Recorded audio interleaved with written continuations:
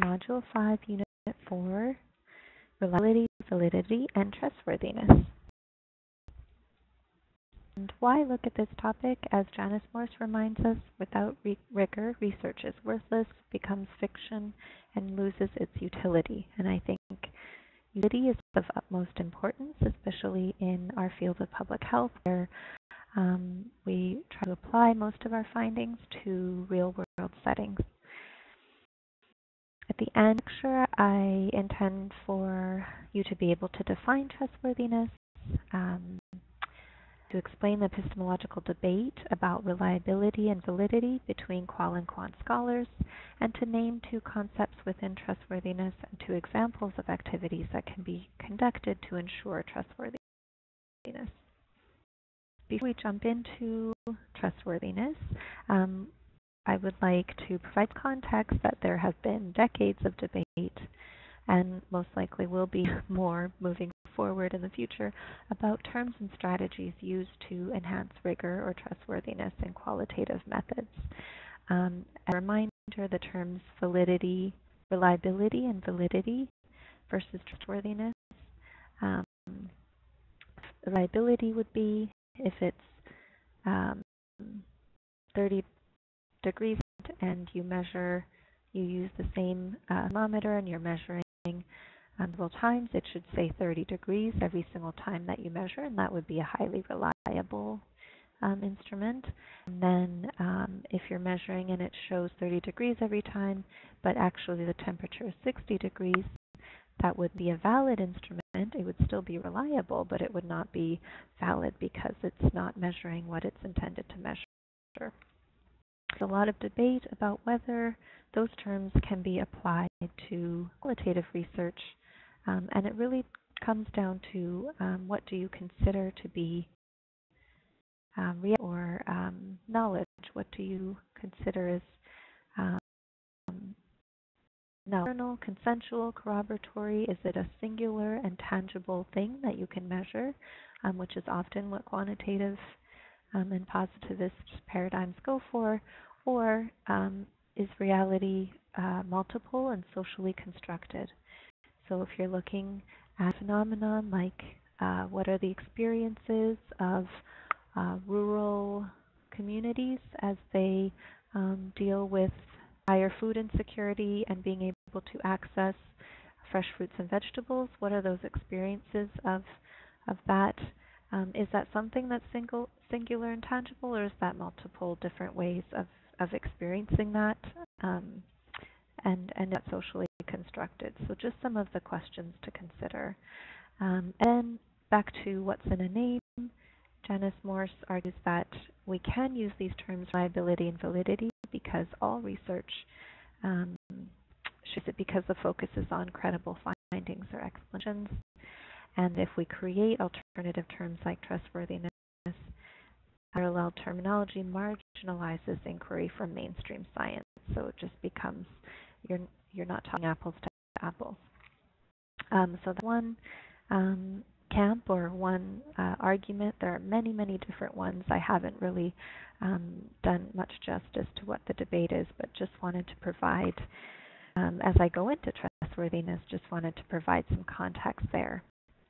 So the term was um, coined by Guba and Lincoln, and there are four main concepts, which I will talk about each one next.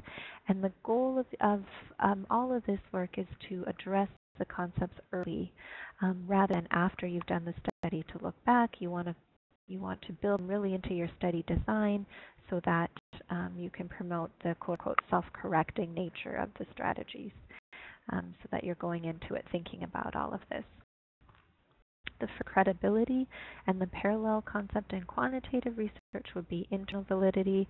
Again, um, with the thermometer, did the research measure what it was intended to measure? Is it measuring the correct temperature? Um, for credibility, you might ask, is the phenomenon accurate and rich, accurately and richly described? And is there harmony between the methods and the researcher interpretations? Um, some activities that you might conduct um, would be source and analyst triangulation, and I'll talk about that later on um, in the slides. Member checks, where you might um, at any point through data collection, through analyses, and and um, as you're presenting, member checks would be when you would um, consult the participants of study um, to see if what you what the data look like, what the preliminary analysis is starting to take form, does that actually um, accurately describe what the participants would uh, say is accurate? And external critique as well. I'll talk about those in a few more slides. The next is confirmability, and the parallel concept is reliability, objectivity, um, refers to unbiased data and findings. Do they match the findings? Are there any claims or interpretations made that cannot be supported? So are you kind of going outside or overstretching the data perhaps? Is, is the evidence rooted in participants' constructions of the phenomenon? And so you could also do uh, member checks for this as well. You'll notice there's a lot of overlap um, with the activities and the concepts. Um, another activity might be reflexivity, so um, considering confronting biases in advance, and I'll talk about this next.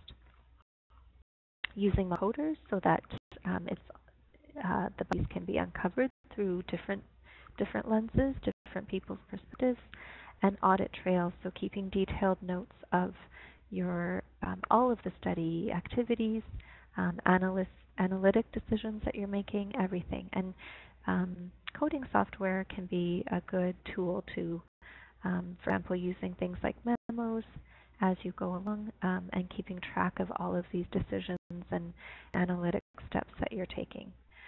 Um, I just wanted to slide about researcher credibility um, because with uh, qualitative research, the researcher's instrument is a very important concept, an important indicator of credibility. Um, scrutineers' trust in the researcher is of equal importance to the adequacy procedures themselves. Um, so as we talked about, is the data um, stretching or are you coloring or biasing the data in any way? Um, and it's important because uh, there is inherent bias. Every researcher with your training, your access and relationship to the site, prior knowledge, um, background characteristics are all going to um, affect the way that you are approaching the study and the, and the data and analyses. So making those as transparent as possible, incorporating some of these activities to ensure that um, there's good harmony between what data show and your interpretations is an important step. Trans third concept and the parallel concept is generalizability or external validity um, refers to applying to a broader population. Um, so you'll um, recall in quantitative research, you often do power calculations to ensure that your sample is going to be representative of the larger population that you're looking at. Qualitative studies tend to, not always, but tend to have smaller sample sizes and tend to sample more for information-rich cases, those participants who are going to be able to speak to phenomenon of interest. Um, and so for this, we need to be aware of, describe the scope of the study so that its applicability to different contexts, whether those are broad or narrow, can be readily discerned. Activity to do this is to provide thick description, so detailed accounts of what that context, broad or narrow, actually is, detailed accounts of participants and design, um, to be able to say, because it's not that we don't want to generalize our findings, otherwise it would only be applicable to that one very small sample. We certainly do, um, but we want to be able to understand to what context um, does this these findings apply. Dependability. Um, the parallel concept is reliability, um, again being able to replicate the exact findings of the study. Um, this is also much debate and a challenging one because uh, with qual we always look at the context and we know that that's often evolving um, the way we in that in naturalistic and interpretive paradigms. Um, dependability then looks at the transparency and the description of methods and procedures so that others could conduct a similar study. The expectation will be the exact findings, like in quant, uh, is, I think, debatable. And again, having query or audit trail helps to helps other researchers to be able to um, conduct a similar study. And quote reflecting this, um, I think you'll note that if you've used before, often research participants change their stories. It's not that they're lying, um, it's that they have new experiences, and, and sometimes the very act of telling a story itself or talking about that experience, they've never asked these questions before. Um, and so it, it allows them to see the nature and connection of the events very differently. Um, uh, was often referred to as socially constructed. Sometimes you're constructing that knowledge um, as you go through different experiences, as you talk about it, as you converse with the interviewer. Sometimes your the way the question is asked allows you to um, respond differently. And so, um, Sandelowski, Margaret Sandelowski um, states here, the idea of empirically validating the information from story to another for consistency completely alien. Um, so so perhaps the expectation is not that they will be exactly the same, um, is presented here. And just a few activities that I've referenced. Um, I wanted to go into a bit more detail. So triangulation, using different sources, methods, and analysts to compensate for individual limitations and exploit their respective benefits. Different kinds that uh, Patton talks about, methods, triangulation, using different methods to look at the same phenomenon from different angles. Data source triangulation, you could um, sit in a classroom and do observational, collect observational data, and then do interviews with teachers and students. Um, triangulation, we, I talked about using multiple coders um, to to make transparent and expose and talk about biases and theory triangulation. Analysis uh, refers to um, when you're working on hypotheses or different set of themes and, and you come across outliers or other data, it's um, going back to the data to ensure that what you're seeing is um, explainable, to look at if any alternative explanations, really doing an exhaustive search um, of your data. Debriefings and peer scrutiny. Um, uh, I recommend frequent frequent debriefings throughout both your coding and analyses, which coding is analyses, but um, talking to external members, project directors, expert panel member, checking with participants, anyone you can, um, just to talk about the data. They often ask questions that can lead you down different ways of um, inquiry. They ask questions that might expose the way you're looking at something from too strong of an angle or not. Um, and so peer scrutiny really allows for fresh perspectives.